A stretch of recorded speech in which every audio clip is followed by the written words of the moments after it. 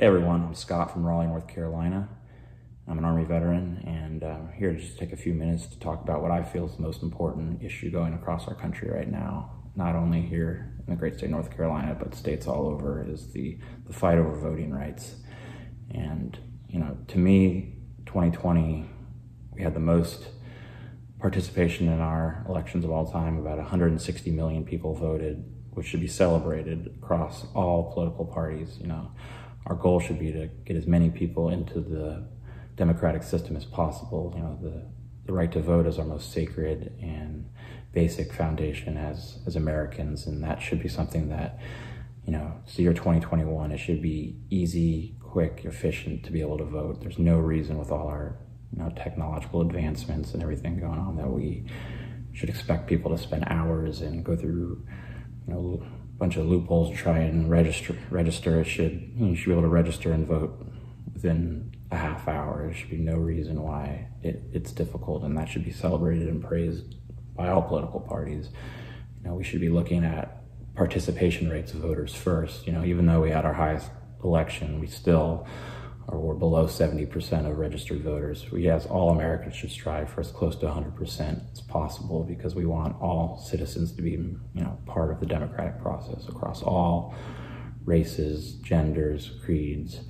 You know, everyone should have their right to vote protected and it should be celebrated. And, you know, to see the election workers from the 2020 election uh, the far right has demonized and villainized them through conspiracies when they worked through a pandemic and just against all odds to put on, you know, one of the most secure and safe elections in our nation's history under very trying circumstances. So thank you to all those election workers. You all are heroes. And the fact that you're getting death threats from certain people and it's just, it's despicable. And I just want to, you know, I hope you all can, you know, we all can volunteer to be election workers and try and help our democracy in any way we can. And, you know, we all, this is not a time to be on the sidelines at all. You know, someone is a veteran, I'm, you know, sworn oath to the Constitution against all enemies, foreign and domestic. And, you know, I do anything to protect everyone's right to vote, no matter who, you know, in America, diversity is our strength.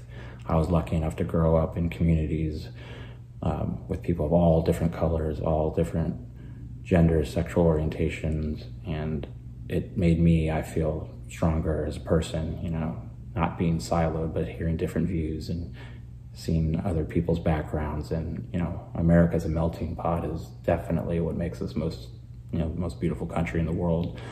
But, you know, we're failing at that right now and we're taking steps backwards. You know, I'm still pretty young, maybe 35 this year, and, you know, you read the, about the civil rights and this going back to the Civil War and the you know the fights for voting rights and for equality, and it just thought that we're going backwards is uh, really distressing. I have two, you know, a four-year-old and a one-year-old, and I want them to grow up in an America where we celebrate diversity and we accept one another and don't judge one another. And that starts with giving everyone the equal access to the right to vote. That's the foundation where we have to start. So I just urge everyone to get off the sidelines all sane Republicans, all moderate Democrats, all progressive, everyone. You know, we have um, we have a fight in our country right now that being on the sidelines is unacceptable right now. There's so many great organizations out there like the Republican Accountability Project.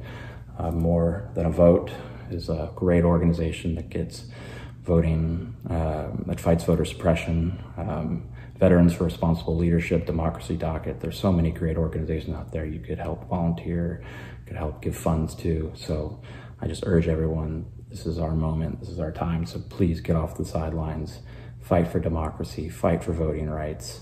And just wanted to close with, uh, you know, with everything going on right now with some of the news outlets, uh, Fox in particular, saying just some horrible things about our military leadership and our generals. I just wanted to throw my support for them and just thank you, thank them for their decades of service. These are unbelievable Americans, and for people like Tucker Carlson and Laura Ingraham to denigrate their service just because they're striving for diversity, equality in our military, and want our military to represent the entire country.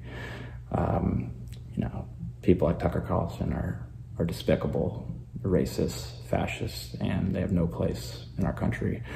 Um, so I just urge everyone, please stand up for democracy, stand up for our values, and um, get off the sidelines and fight. Thanks, everyone. Have a great day.